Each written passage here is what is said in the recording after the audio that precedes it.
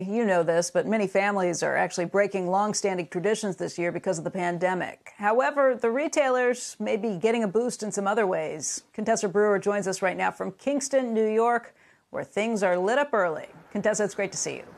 I mean, it is so awesome to see all of these holiday lights. Today, you wouldn't be surprised to see it, but a lot of families have a hard and fast rule no trees, no wreaths, no Christmas lights until after Thanksgiving.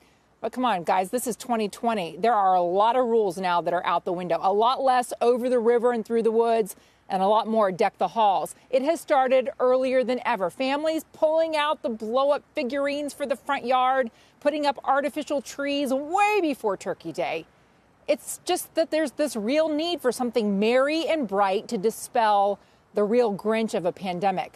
Target, Home Depot, and Lowe's, they're ready to fill the need. They've mentioned on their earnings calls the enthusiasm they saw at Halloween, the promotions that they're rolling out to help consumers who are spending so much time at home. And if you're the kind of Black Friday viewer who wants some hard and fast numbers about, well, how sales are going to happen at the holidays, uh, here at Adams Fairacre Farms, where sales of holiday items from October 1st to this week, how about this? Up 56% over last year, even before Thanksgiving. It's pretty remarkable. Becky? It is. But add me to the list on this. We've had our Christmas trees up for a week at this point. We got three this year. We got fake ones because we were afraid they were going to be dead by the time Christmas got around this time next year, but we needed the lights. Put the rest of the lights up yesterday, and I will admit, for the first time in my life, something I never thought I'd do. Yesterday on Amazon, I ordered one of those eight foot blow up Santa Claus things with a Christmas tree and a teddy bear, all for the yard. Never thought I'd do that. But the four year old really liked the neighbor's black cat down the street at Halloween, made me go every day to visit the black cat. So we're getting Santa, and he's going to be on the yard come Tuesday. So you you partaking in the whole Griswold thing where you got to best the neighbors.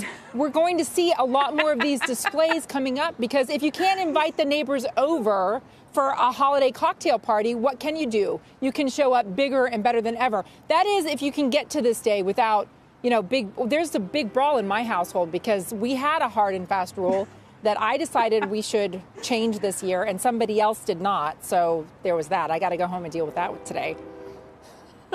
I, am with you, Contessa. This is a year to throw out all the rules. And by the way, it does look like the Griswolds over here, but our neighbors are a lot nicer than the Griswolds. Anyway, great to see you, Contessa. I love the story. Thank you. Shepard Smith here. Thanks for watching CNBC on YouTube.